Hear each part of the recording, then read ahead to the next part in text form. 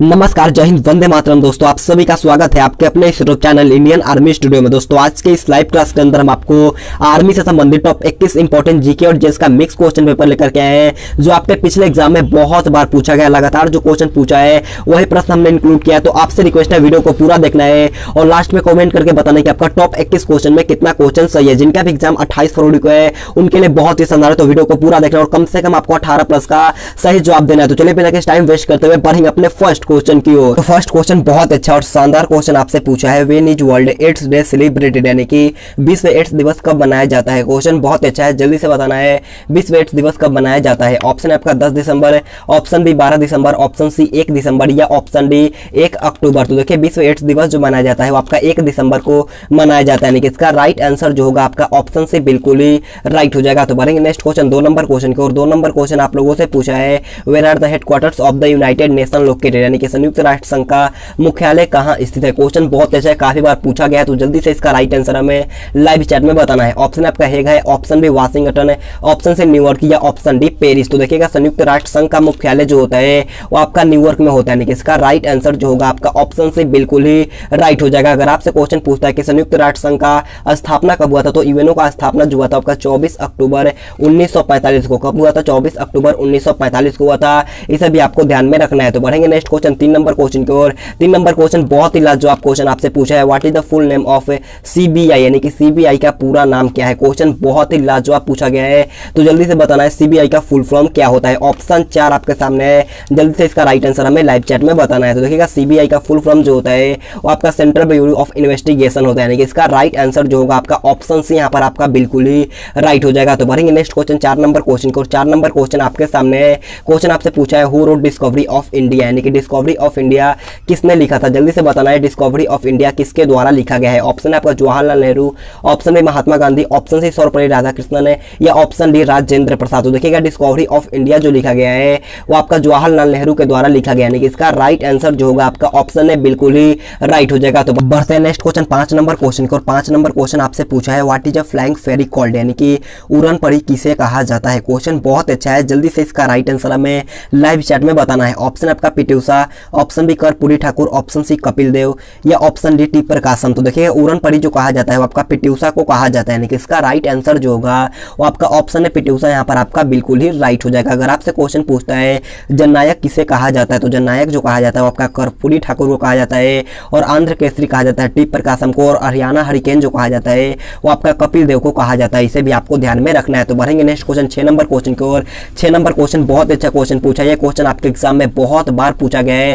Question आपसे पूछा है how long is the national anthem song यानी कि राष्ट्रगान कितने समय में गाया जाता है? ऑप्शन आपका अड़तालीस सेकंड ऑप्शन बी चौवन सेकंड ऑप्शन सी बावन सेकंड या ऑप्शन डी पैंसठ सेकंड तो देखिएगा, राष्ट्रगान गाने की समय अवधि जो होती है, वो आपका लगभग बावन सेकंड का होता है। यानी कि इसका राइट आंसर जो होगा, आपका ऑप्शन से बिल्कुल ही राइट हो जाएगा। राष्ट्रगान जो लिखा गया, भारत का राष्ट्रगान जो लिखा गया है, वो आपका रविन्द्रनाथ टैगोर के द्वारा लिखा गया है। इसे भी आपको ध्यान में रखना है। तो बढ़ते हैं नेक्स्ट क्वेश्चन सात नंबर क्वेश्चन को। सात नंबर क्वेश्चन आपसे पूछा है in which division do seasonal events occur यानी कि मौसमी घटनाएँ किस मंडल में घटित होती है? क्वेश्चन बहुत अच्छा है। जल्दी से बताना कि मौसमी घटनाएँ किस मंडल में घटित होती है? ऑप्शन आपका छो मंडल ऑप्शन बी मध्यम मंडल ऑप्शन सी समताप मंडल या ऑप्शन डी आयान मंडल। तो देखिएगा, मौसमी घटनाएँ जो होता है, वो आपका छो मंडल में घटित होता है। यानी कि इसका राइट आंसर जो होगा, आपका ऑप्शन है, बिल्कुल ही राइट हो जाएगा। और देखिए, वायुयान चालुक्य के लिए जो आदर्श माना जाता है, वो आपका छो मंडल ही माना जाता है। इसे भी आपको ध्यान में रखना है। तो बढ़ेंगे नेक्स्ट क्वेश्चन आठ नंबर क्वेश्चन और आठ नंबर क्वेश्चन आप लोगों से पूछा है who are the founder of Lodi dynasty यानी कि लोधी वंश का संस्थापक कौन था? ऑप्शन आपका Bahlol Lodhi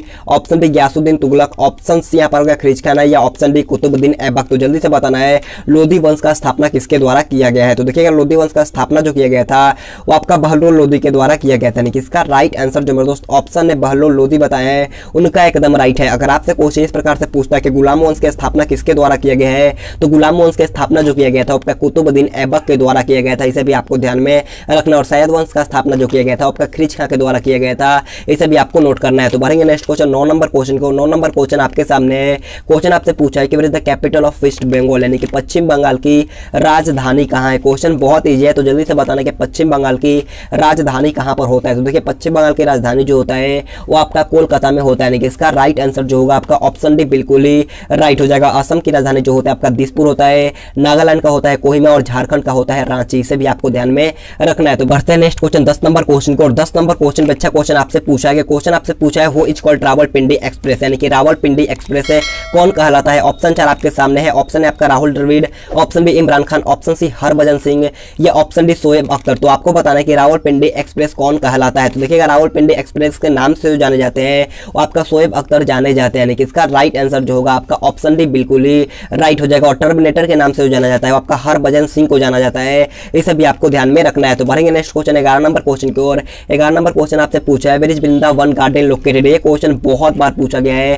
क्वेश्चन आपसे पूछा कि वृंदावन गार्डन कहाँ स्थित है? जल्दी से बताना कि वृंदावन गार्डन कहाँ पर स्थित है। ऑप्शन आपका मैसूर है। Option B Manali option C Mathura या ऑप्शन डी मोहाली। तो देखिएगा वृंदावन गार्डन जो होता है, वो आपका मैसूर में होता है। यानी कि इसका राइट आंसर जो होगा, आपका ऑप्शन है बिल्कुल ही राइट हो जाएगा। तो बढ़ते हैं नेक्स्ट क्वेश्चन बारह नंबर क्वेश्चन और बारह नंबर क्वेश्चन बहुत अच्छा क्वेश्चन पूछा है।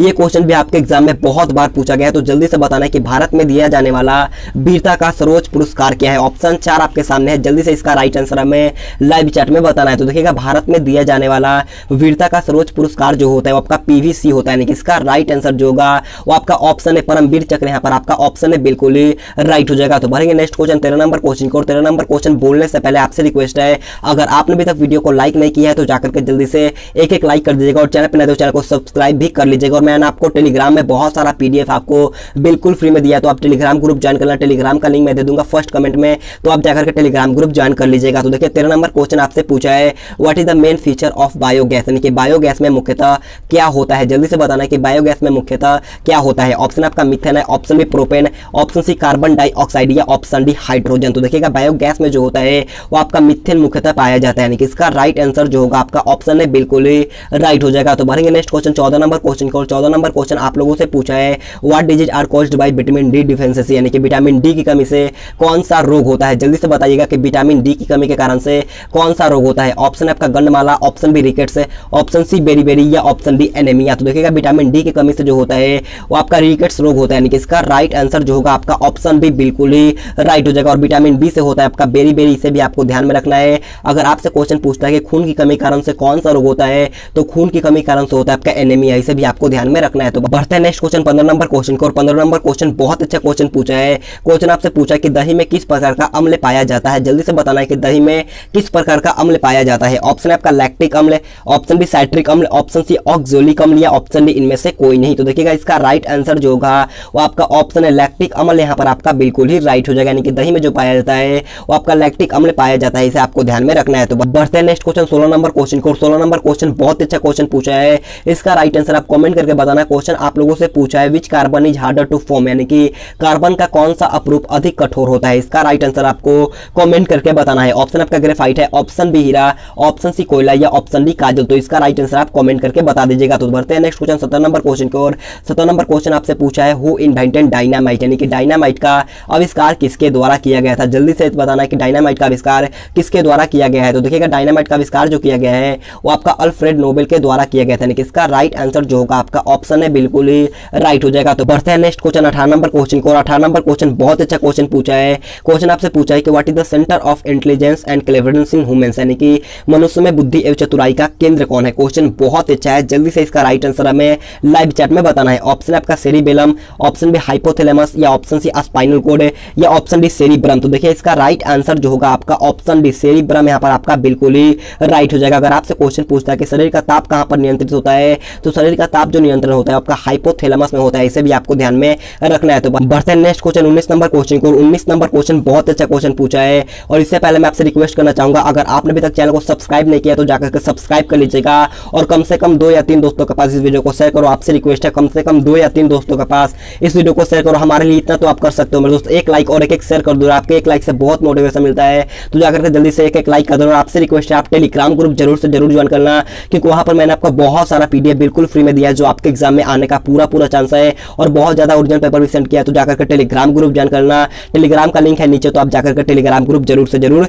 ज्वाइन कर लीजिएगा। तो देखिए, उन्नीस नंबर क्वेश्चन आपसे पूछा कि what is a protein factory called यानी कि प्रोटीन का फैक्ट्री किसे कहा जाता है? ऑप्शन है आपका मैक्ट्रोकांडिया option B lysosome option C ribosome या ऑप्शन डी प्रोटीन तो देखिए प्रोटीन का फैक्ट्री जो कहा जाता है, वो आपका राइबोसोम को कहा जाता है इसका राइट आंसर जो होगा आपका ऑप्शन सी बिल्कुल ही राइट हो जाएगा। अगर आपसे क्वेश्चन पूछता है कि कोशिका का पावर हाउस किसे कहा जाता है तो कोशिका का पावर हाउस जो कहा जाता है आपका माइट्रोकांड्रिया को कहा जाता है। इसे भी आपको ध्यान में रख लेना और आत्महत्या की थैली जो कहा जाता है आपका लाइसोसोम को कहा जाता है। इसे भी आपको ध्यान में रखना है। तो बढ़ेंगे नेक्स्ट क्वेश्चन बीस नंबर क्वेश्चन की ओर। बीस नंबर क्वेश्चन आपसे पूछा है कि what is the purity of gold measured in यानी कि सोने की शुद्धता किसमें मापी जाती है? आपको बताना है कि सोने की शुद्धता जो होता है, वो किसमें मापी जाती है? ऑप्शन आपका ग्राम में ऑप्शन बी कैरेट में ऑप्शन सी मीटर में, या ऑप्शन डी इनमें से कोई नहीं। तो देखिएगा, सोने की शुद्धता जो नापा जाता है, वो आपका कैरेट में नापा जाता है। यानी कि इसका राइट आंसर जो होगा, आपका ऑप्शन नंबर भी यहाँ पर आपका बिल्कुल ही राइट हो जाएगा। तो भरेंगे नेक्स्ट क्वेश्चन इक्कीस नंबर क्वेश्चन को इक्कीस नंबर क्वेश्चन हमारा आज का लास्ट क्वेश्चन है। क्वेश्चन आपसे पूछा है कि what is the speed of an aircraft measured in यानी कि वायुयान की गति किसमें मापी जाती है? जल्दी से बताना कि वायुयान की गति किसमें मापा जाता है? ऑप्शन ए आपका है altimeter, option B odometer, option C lactometer या ऑप्शन डी टेकोमीटर। तो देखिएगा वायुयान की गति पूछा गया है तो वायुयान की गति जो नापा जाता है आपका अल्टीमीटर में नापा जाता है, यानी कि इसका राइट आंसर जो होगा आपका ऑप्शन है बिल्कुल ही राइट हो जाएगा। अगर आपसे क्वेश्चन पूछता है कि दूरी मापने में कौन सा यंत्र काम लिया जाता है तो दूरी मापने के लिए आप ओडोमीटर का प्रयोग करते हैं, इसे भी आपको ध्यान में रखना है, और दूध की शुद्धता मापने के लिए लैक्टोमीटर का प्रयोग किया जाता है, इसे भी आपको ध्यान में रखना है। तो आज का क्लास हमारा ही पर खत्म होता है। अगर आपको वीडियो पसंद आए तो आपसे रिक्वेस्ट है, जाते जाते एक एक लाइक कर दो। यार आपके एक लाइक से बहुत मोटिवेशन मिलता है तो जाते जाते एक एक लाइक कर दीजिएगा। और चैनल पर ना तो चैनल को सब्सक्राइब भी कर लेना और टेलीग्राम ग्रुप आप ज़रूर से ज़रूर ज्वाइन करना। वहाँ पर मैंने आपको बहुत सारा पीडीएफ दिया तो आप टेलीग्राम ग्रुप ज्वाइन करना। तो आज के लिए इतना ही। Thanks for watching this video जय हिंद, जय भारत।